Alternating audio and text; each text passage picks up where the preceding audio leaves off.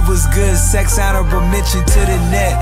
Didn't pass to loud, that was out of respect. After words passed the towel, I was out of Kleenex. If you take a girl out, do you expect sex? If she take her titties out, do you expect checks? First visit, I gave her a pearl necklace. Next visit, I'ma need your girl naked. Took a church visit, you know, cause the world hectic. Oh,